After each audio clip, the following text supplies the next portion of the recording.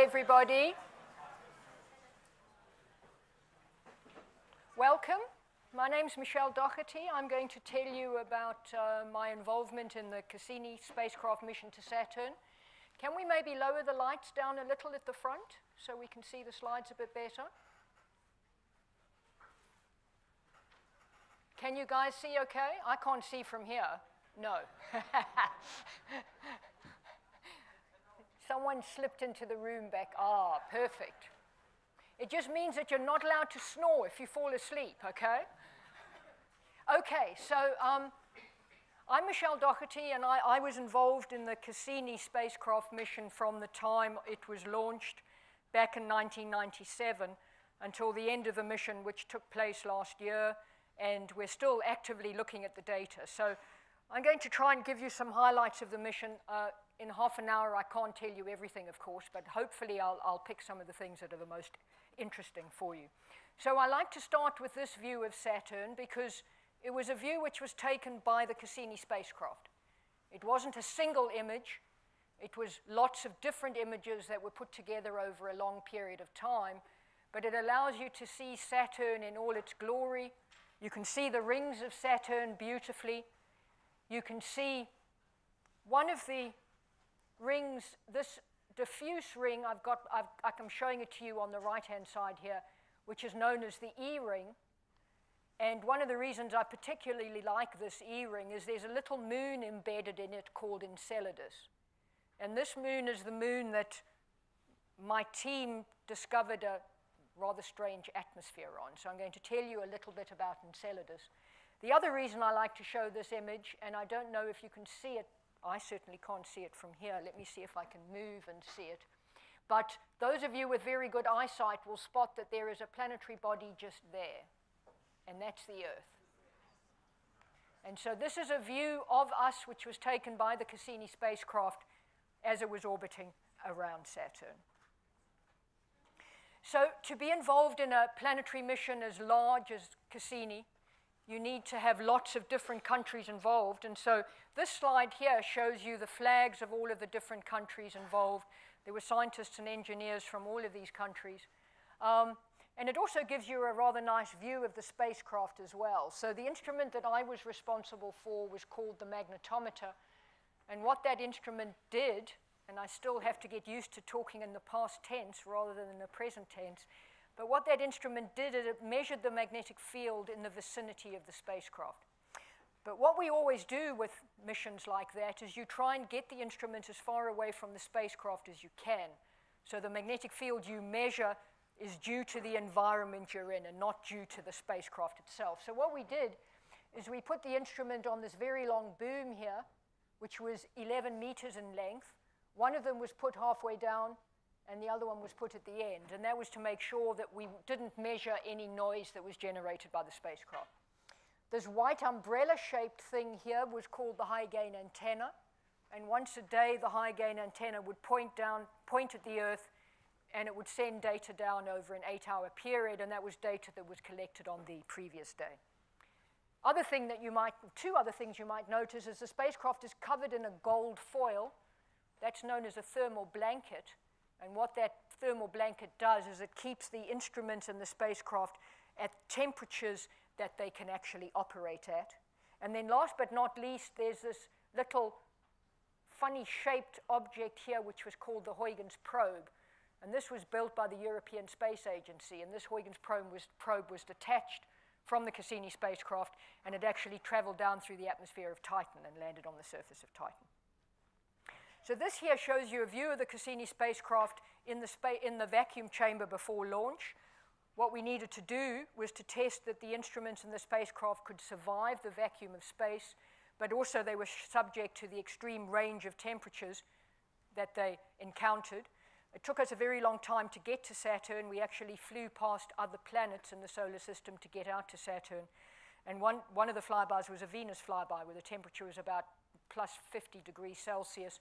Out at Saturn, the temperature was about minus 170 degrees Celsius. And so the instrument needed to survive those ranges of temperatures. And you can see people standing in this vacuum chamber. So it gives you an idea about how large the spacecraft is. It was two stories tall, It weighed seven tons. And other thing you'll notice is my, my boom, my magnetometer boom, doesn't seem to be there. And that's because you can't launch a spacecraft with a large boom sticking off from the side. And so that was actually folded away into that canister there. And after the spacecraft was launched, the boom was deployed and we started taking data. So what I'm going to talk to you about today is measurements that the magnetometer made. Now, what a magnetometer does is it measures the magnetic field. But you can't see the magnetic field. You only know it's there because you can measure it and because it has an influence on other things that are going on around it. This here shows you a view of the Earth where you have a magnetic field generated in the interior, just like we have at Saturn. And if you were able to see the magnetic field lines of the Earth, this is what they would actually look like. One way to think about it is if you had a piece of paper, you put a bar magnet, a dipole magnet, underneath that piece of paper, and you had iron filings on top those iron filings would lie along the lines of force of the magnet. And so that's essentially what you've got at the Earth and what you've got at Saturn as well. Now, one of the things you'll need to keep in mind when I show you the data um, is that just like the Earth does, Saturn rotates on its axis once a day, and those red field lines rotate at the same rate. And so if this is a field line, it's going to be moving around with Saturn as it orbits on its axis. And that's one of the things that we'll use when we look at the data that I'm, that I'm going to show you. So the first thing I wanted to talk about was the little moon called Enceladus. Now this, was a, this, was a, this is a moon that's orbiting around Saturn, um, and it's a very small moon. Its diameter is only 500 kilometers, and so we always thought that it was long dead. It had cooled down. Um, it was formed when Saturn formed, and any heat source should have died away. Now, we had two flybys of Enceladus in the beginning of 2005. So what happened was Cassini was launched in 1997, took us six and a half years to get to Saturn. We spent that six and a half years planning the first four years worth of observations that we were going to make. And the original plan was we would stay in orbit around Saturn for four years. And so that's what we designed the instruments to do. But because they were doing so well and they were so healthy, the mission continued to be extended until uh, last year, and I'll talk about that at the end. And so we got there in July 2004, and about seven months later, we had our first flyby of Enceladus. And there were three that we had in 2005, and these are the flyby distances. And so the first one was just under 1,300 kilometers above the surface. And a month later, there was a second flyby 500 kilometers above the surface. And based on the observations that my instrument made, we persuaded the Cassini project to take us much closer on the third flyby, and I'll show you why we thought that was worth doing. But let's just have a look at the surface of Enceladus for now. One of the first things you'll notice is it looks very young. There are hardly any craters on it at all. There are only a few craters. And this is really different to a moon that's orbiting close by. I'll come back to this slide now. But if we have a look at this schematic here, this shows you a schematic of the Saturn system. So we have Saturn with the visible rings, and then we have these different moons in orbit. Mimas is orbiting around Saturn here, and the surface of Mimas is covered in lots of different craters. Enceladus is quite close by. That's the orbital distance of Enceladus. And Enceladus doesn't seem to have any craters, or not any, it doesn't have very many. And so the implication is is that something has happened at Enceladus to make the surface much younger, to resurface it somehow. So that was something that we had in mind when we first got there. The other thing that we had in mind is that the Pioneer and the Voyager spacecraft, which uh, flew back in the late 70s and the early 80s, flew past Enceladus. And what they saw was the surface of Enceladus made up mainly of water ice.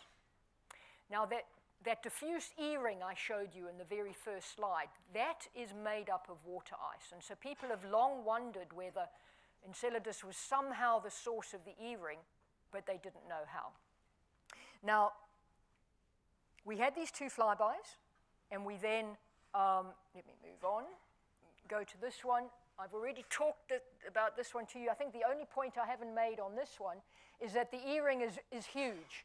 It essentially extends from the orbit of Enceladus way out to Titan, which is off the page here. Now, Titan is the largest moon of Saturn, the only one with an atmosphere, and that's the one where the Huygens probe traveled through the atmosphere and landed on the surface.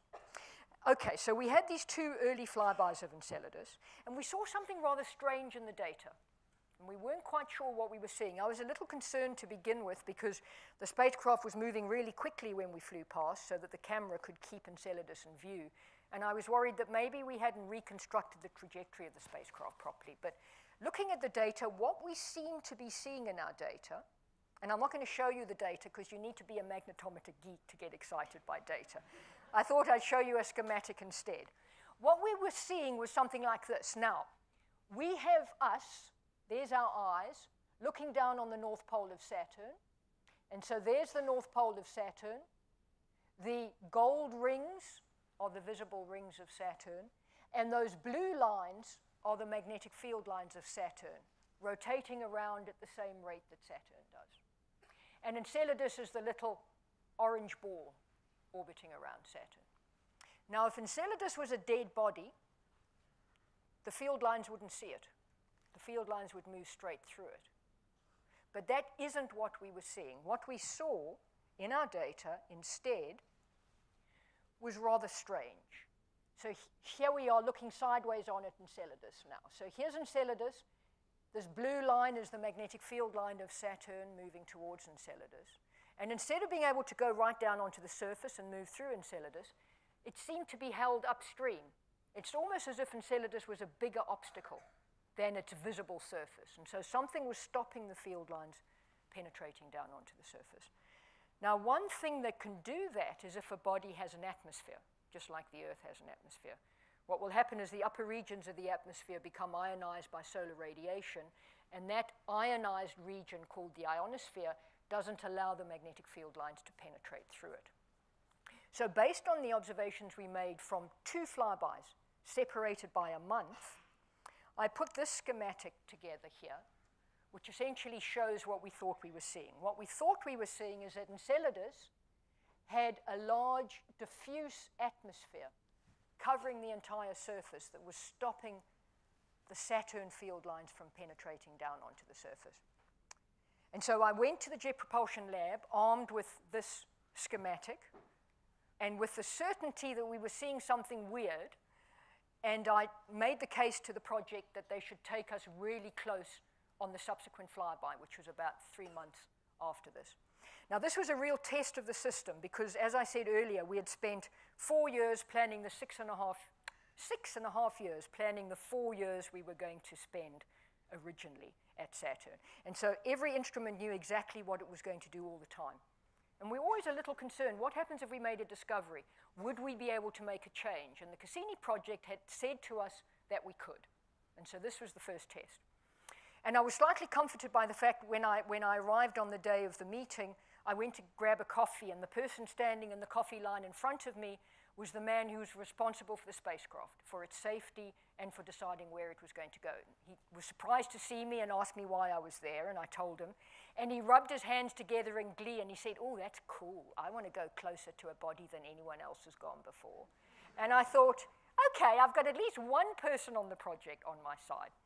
So I made a presentation to the scientists, and it was hard going because not everyone was convinced, but there were enough people on the team who thought that what we were seeing was interesting enough that we should make the change. So the plan was made that we would change the flyby altitude of the third flyby from, I think it was planned to be 1,000 kilometers above the surface, to 173 above the surface. And I must confess, I didn't sleep for two or three nights before that flyby, because if we had seen nothing, no one would ever have believed anything that I said again.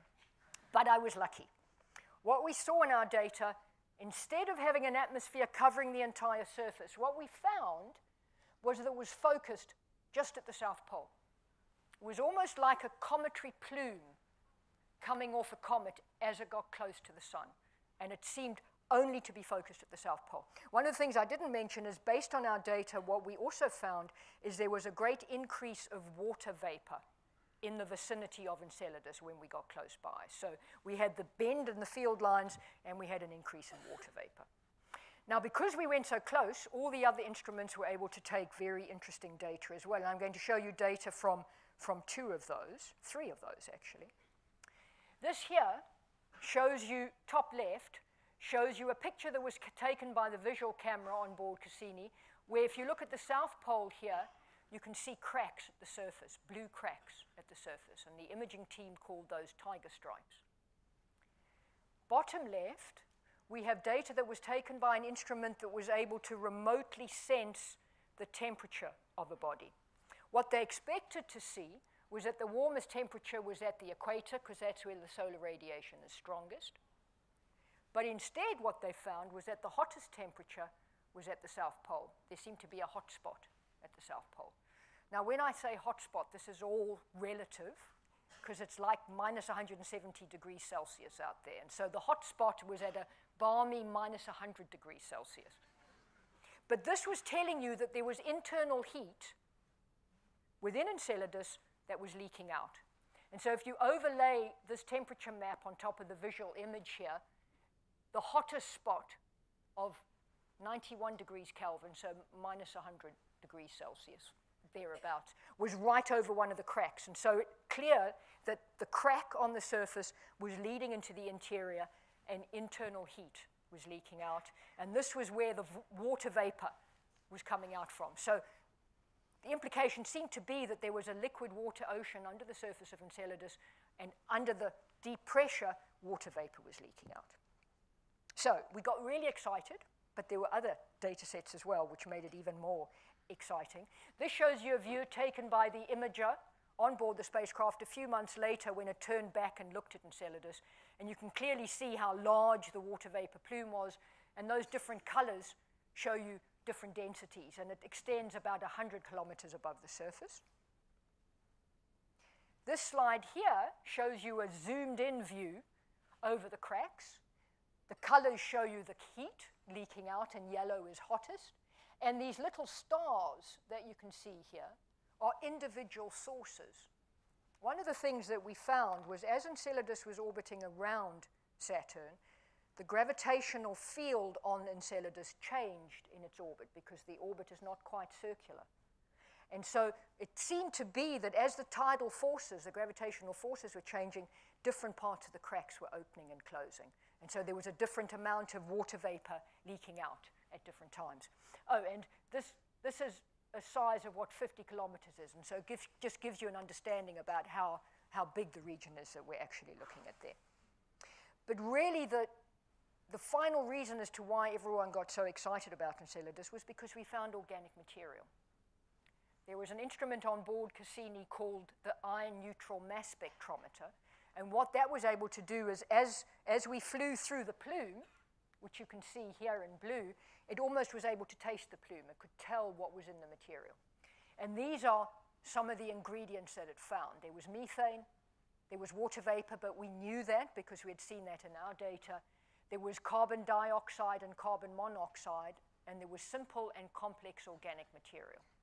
And so this was when planetary scientists became really excited about Enceladus as a place for potential habitability. You need four things for life to form. You need liquid water, which we have at Enceladus. You need a heat source, which we've seen. You need there to be organic material. And the fourth thing you need is for those first three to be stable over a long enough period of time that something can happen. That's the fourth thing that we're not sure about. We don't know how long these conditions have been at Enceladus. But Enceladus is now one of the places in the, in the solar system where there is a focus on has life been there in the past? Is there bacteria in the ocean at the moment? And so, based on these observations, in the extended Cassini missions that we, mission that we had, we eventually had 30 different flybys past Enceladus, and there are now plans to send future spacecraft to Enceladus. Going into orbit is difficult, though, because its gravitational force is rather low, and so you need a huge amount of fuel to be able to go into orbit. Now, before I start talking a little bit about the end of the Cassini mission, I just wanted to talk very briefly about another mission that we're building an instrument for, and that's known as the JUICE spacecraft mission, and that's going to Jupiter. And the reason we want to do that is because four of Jupiter's moons are very interesting. These are the four large moons. They're named after the scientist Galileo, so they're known as the Galilean moons.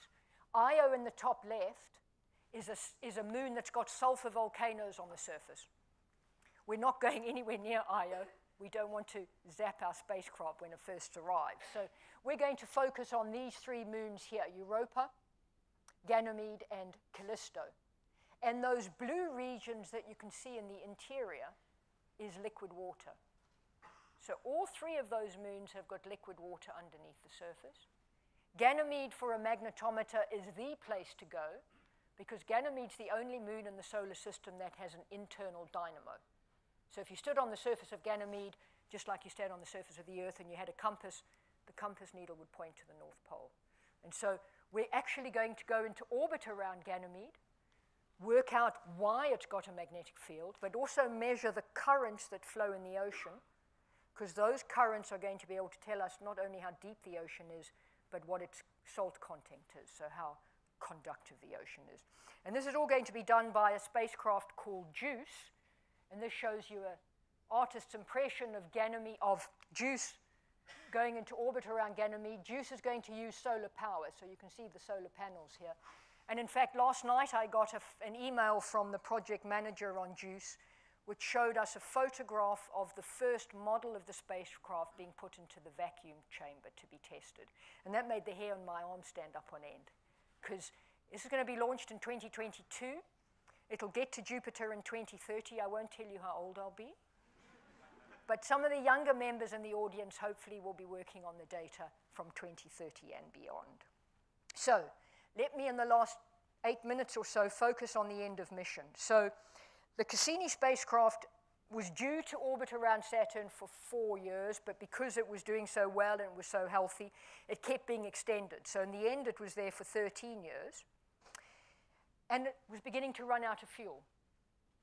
And we knew that was going to happen, and we wanted to ensure that the end of the mission was good for us sci scientifically as well as killing the spacecraft safely. We didn't want the spacecraft to crash land on Enceladus, because if life was ever found there in the future, there might be questions raised because a man-made or person-made object landed on the surface. So what we decided to do was to burn it up in the atmosphere of Saturn. And we, we did that because we wanted to try and understand the internal structure of Saturn better.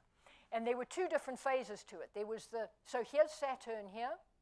This circle here is the orbit of Titan, which is 20 planetary radii away from Saturn. And what we did is we used Titan as a gravity assist, and it got the spacecraft up out of the equatorial plane.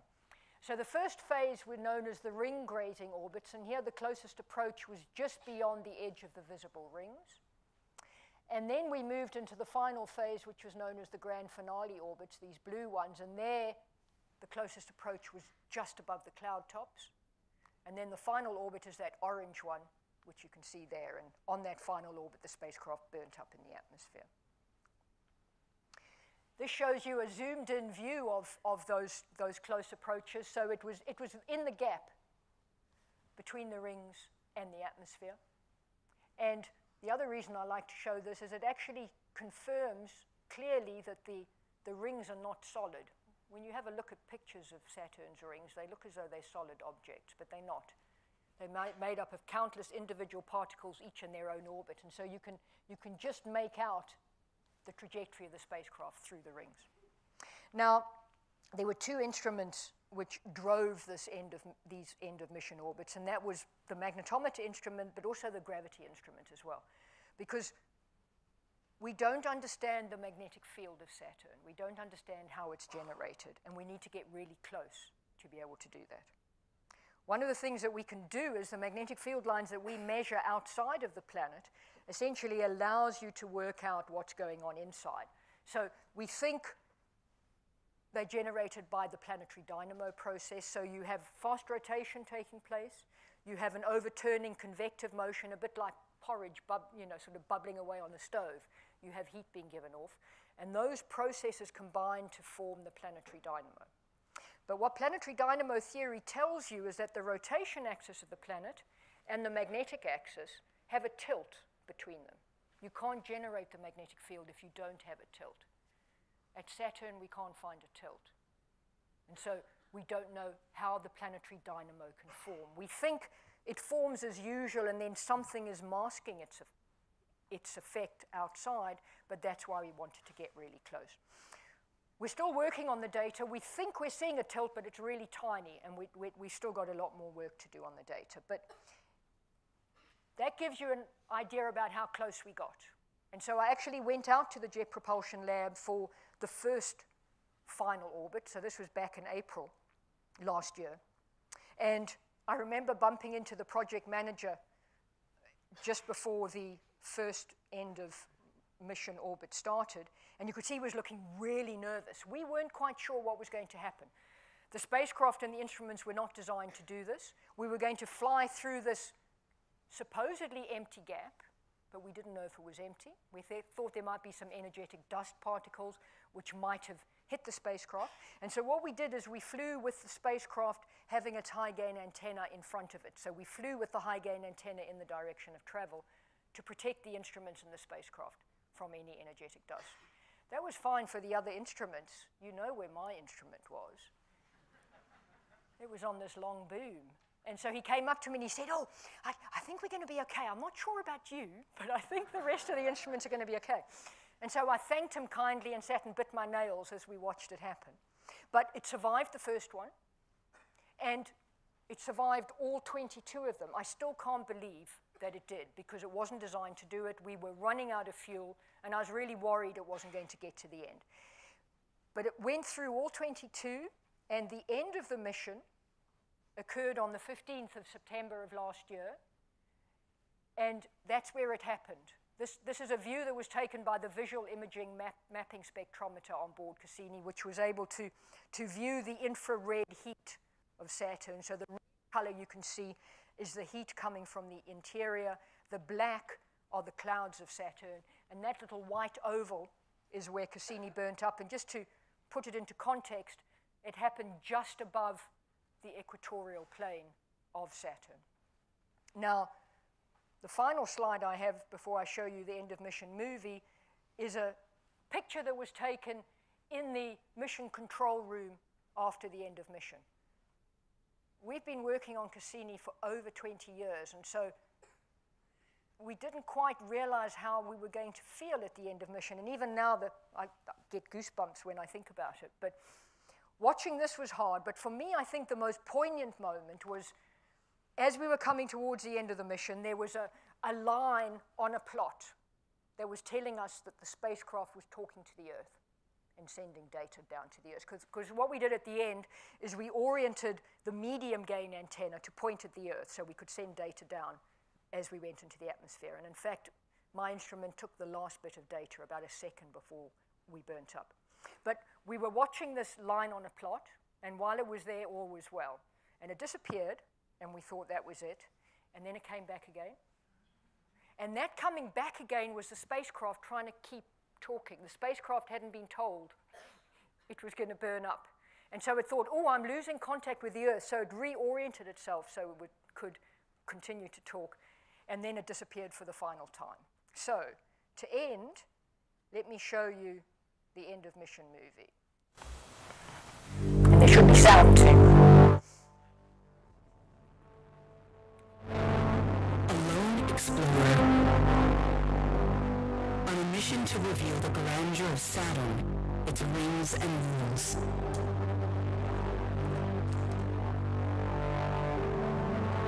After 20 years in space, NASA's Cassini spacecraft is running out of fuel. And so, to protect moons of Saturn that could have conditions suitable for life, a spectacular end has been planned for this long-lived traveler from Earth.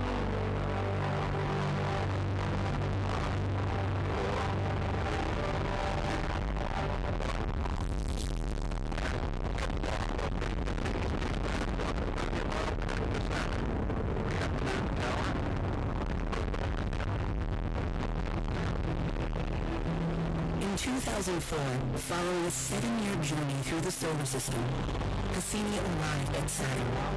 So I burn attitude and point position. Light up the rocket. The spacecraft carried a passenger, the European Huygens probe, the first human-made object to land on a world in the distant outer solar system.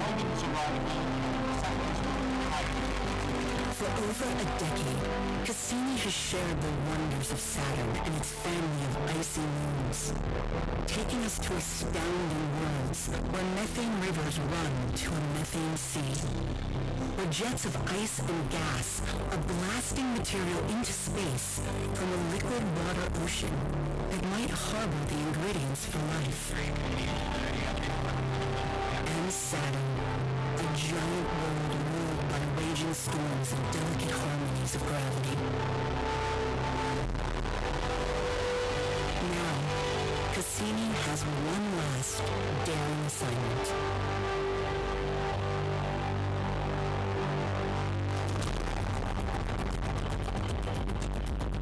Cassini's grand finale is a brand new 22 dives through the space between Saturn and its rings. As it repeatedly braves this unexplored region, Cassini seeks new insights about the origins of the rings and the nature of the planet's interior, closer to Saturn than ever before.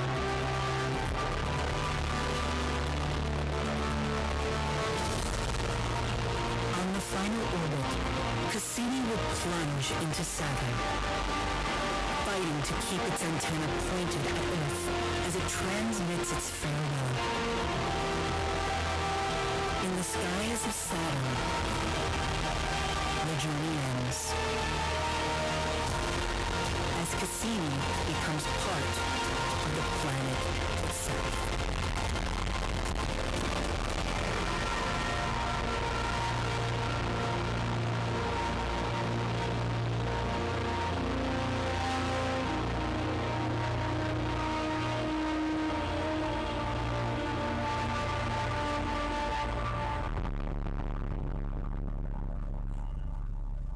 Thank you very much.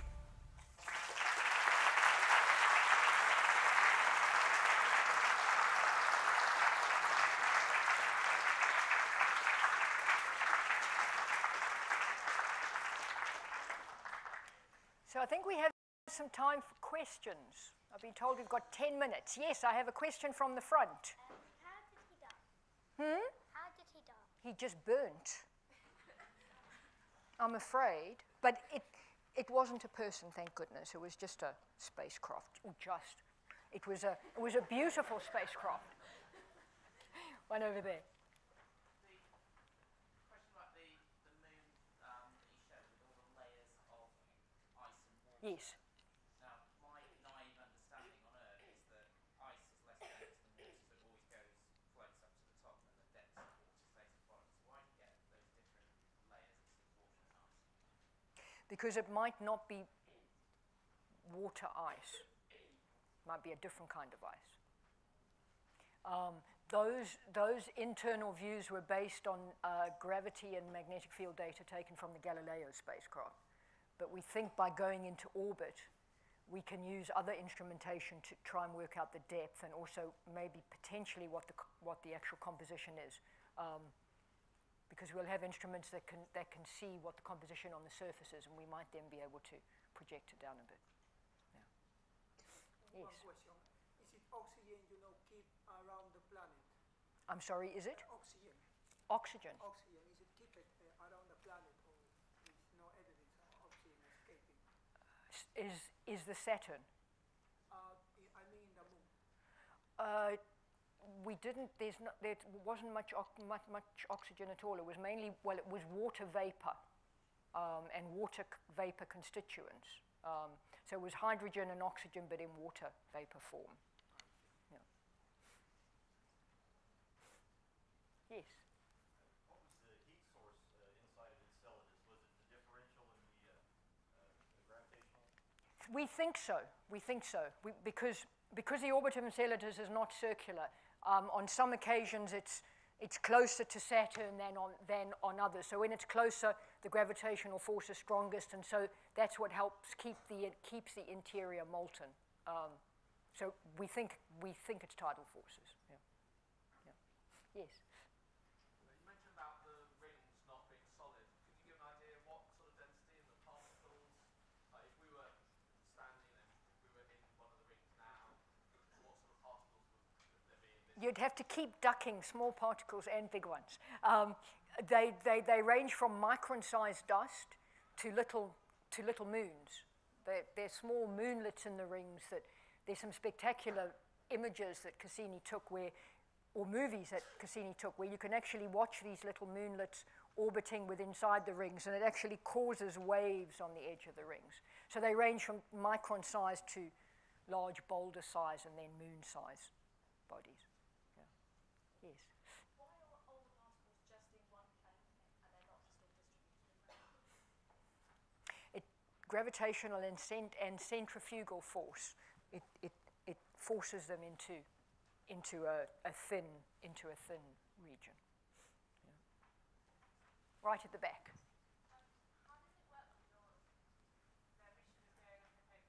Is that your sole research focus and that's what you're looking at for 20 years or is this one thing that you're looking at? There are lots of other research projects you're involved as well. My, my sole research focus was Cassini, um, but I also was doing teaching as well. Um, and because I was responsible for the team, not only was I worrying about my own research, but you want to try and make sure that the team is covering as much as you can. We also spent a lot of our time planning the observations that we were going to make. So it was, it was a full-time job, and um, now that it's over, I'm actually spending more time doing science on it than I was while it was going on, because I don't have to worry about the other things. Yeah. Yes. Has the NASA project to land a rover on Enceladus? No. NASA wants to land something on Europa, which is one of Jupiter's moons. They do want to go back to Enceladus, but it's really hard because I think, as I mentioned in the talk, because Enceladus is so small, its gravitational field is very small. So you need a huge amount of fuel to force the spacecraft to go into orbit. And we don't have a rocket big enough yet to launch it with enough fuel to do that. So we, might, we, we, we can fly past it, but getting into orbit is going to be difficult. Yes. It's the same as it was on Cassini. I'm responsible for the magnetometer. Um, and for me, it's really interesting because on Cassini, I became involved around the time of launch, and so I wasn't involved in the build phase. And so now the focus is persuading the people building the spacecraft to allow us to build the instrument we want to build, to do the science we want. Because, you know, the European Space Agency engineers want to build the best spacecraft possible, and the, science, the scientists are a nuisance because it's making them change how they build the spacecraft. So it's a very different interaction, and it's interesting for me to do that. Yeah. Yes. Given the political situation at the moment, how much are we going to lose out if we get out of Brexit? European Space Agency involvement is completely separate to Brexit. We pay a yearly subscription to the European Space Agency, and non-European countries do as well. Canada is involved in ESA as well. So I'm not concerned about ESA involvement, but we have lost some, some good engineers who've gone, who are going to go back to Europe. So I am concerned about it on another front as well. Yes. why was 173 kilometres chosen for the third observation? Well, I, I didn't choose that. I said to them, we'd like to go really close. Um, they weren't prepared to go any closer. Although on, uh, a, fly, uh, on a subsequent flyby three years later, they flew 25 kilometers above the surface. And they said they would never do that again because the density of the plume was quite high and the magnetometer boom made the spacecraft unstable. Um, but what I found really interesting was watching the, the people responsible for effectively driving the spacecraft. They be, got, be, be, they became a lot more confident in the spacecraft's ability over time. It was almost like learning how to drive a new car. You have to drive it for a while to realize what it can do. And so we would never have done the end of mission orbits if they'd been right at the start because they wouldn't have thought the spacecraft could do it. Yes. Oh, why did you want to go to Saturn instead of Jupiter or another planet? The way that it works is scientists want to go everywhere. And so what you do is you put, you put proposals together and you, you, you make a suggestion. Um, and so we did Saturn first, and now we're doing Jupiter. Although lots of people now want to go back to Saturn, of course. And I say, let's just understand the Cassini data first. Yes, another one. Is there a risk that when the, the rover or the, the, the second Cassini will land on Europa and pass through the ice of uh, Europa, Of course, always a risk. Earth? Yeah, yeah, yeah, yeah. And that's one of the reasons why I think, I don't think NASA should send a lander to Europa yet. We need to work out where the ice crust is thinnest and get as close as we can to that, but not on that spot because we don't want to fall through that. There's a, there's a movie called the Europa Report where exactly that happens. They send the spacecraft and all these people to Europa, and it lands on one of the weakest points and they get sucked in. It's a very sad movie. but I thought I saw one more hand, yes. There were two different fuel sources. There was radioisotopes, and they um, kept the instruments going. Um, but there was also rocket fuel, and it's the rocket fuel that we ran out of because the rocket fuel was used to fire the spacecraft engine and change its orientation. And in fact, we were on the fumes at the end. That was one of the reasons why we weren't sure if we get all the way through to the end. Yeah. Brian. Yeah, these missions are very long in duration, 20 years. How do you find, now you're building the magnetometer next to Tom Hughes mission, how do you find technologies change? And how frustrating is it that sometimes new technology can't rewind the initial? Yes, the technologies change, and it is a bit frustrating because you know the instrument on Cassini was rather large. The computer on board couldn't handle more than two gigabytes of data a day. Um, but the instrument we're building for JUICE has changed slightly, but not. And the reason for that is when you fly instruments on planetary missions like this, they need to reach a certain technology readiness level. And the only way that they can do that is to have flown before. And so, even if we did have an idea for a new instrument, we couldn't fly it on the JUICE spacecraft because it hasn't flown in that environment before. And you need, you know that the old technologies work. You know, I had two instruments on Cassini. One of them stopped working a year after we got there. And that's why you need instruments that are solid and redundant and stable. So it's a, it's a, it's a balance between flying the new sort of the new sort of gizmo from your phone and flying something that you know is going to survive for 13 years. But it is a bit frustrating that you can't put a cell phone on that'll take all the pictures you like. yes, another one. Uh, one last thing. Of course. Do you think in, do you think um, Enceladus will be suitable for any form of life? Not life like us. I think there might be bac- bacteria there, but it would be too cold for us. It doesn't have enough gravity to keep us on the surface. And so it, it was, when Cassini was launched, I was out at Cape Canaveral for the launch, and we never knew Enceladus was going to be so interesting. Everyone thought Titan was going to be the interesting moon, and the Huygens probe was going to travel down and land on the surface of Titan. And I remember there was a, there was a little skit in the newspaper the day after the, after the launch, which showed a little green person standing on the surface of Titan. And the next image showed the Huygens probe landing on the surface and squashing that person dead. and the third picture showed a sign that said, Welcome to Titan, population equals one.